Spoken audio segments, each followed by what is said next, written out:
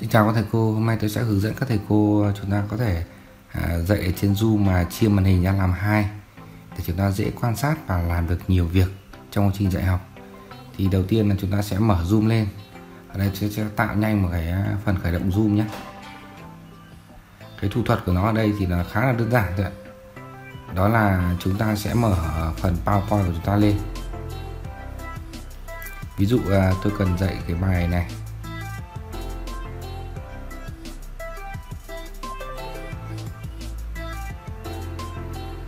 thì à, để dạy được cái màn hình mà chia làm hai thì các thầy cô lưu ý là chúng ta sẽ chọn một cái quyền là hình, cái biểu tượng ở phía dưới đừng bấm vào cái cốc nhé bấm vào quyền vở cho tôi.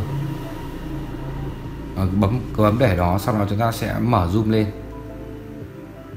Thì bây giờ chúng ta sẽ sử dụng cái lệnh chia sẻ, chúng ta bấm share sau đó chúng ta sẽ chọn PowerPoint ạ, chúng ta sẽ chọn PowerPoint nhé từ đó thì chúng ta có thể thu gọn lại. Này chúng ta có thể có nút thu gọn lại. Nhỏ to bao nhiêu là tùy mình. Đấy, chúng ta có thể để gọn lại. Thì chúng ta có thể bấm hay chuyển các slide và điều khiển bình thường. Bên cạnh đó chúng ta có thể mở cú quất lên này. Đấy. Đấy, chúng ta có thể đọc thêm cả giáo án này. Đấy, chúng ta vẫn làm việc bình thường. Sau đó là chúng ta vẫn có thể là chuyển uh, PowerPoint dạy bình thường và học sinh chỉ nhìn cái phần PowerPoint đấy thôi đấy và chúng ta có thể mở thêm trình duyệt web lên với những vấn đề các chúng ta cần tra cứu nhanh. Thu thu gọn lại thu nhỏ lại. Đấy, chúng ta sẽ điều chỉnh làm sao cho nó phù hợp để mình quan sát được cả hai bên.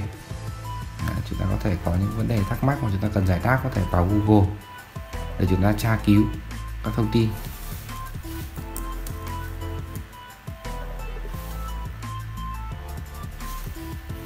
Để trả lời nhanh những câu hỏi cho học sinh vân vân.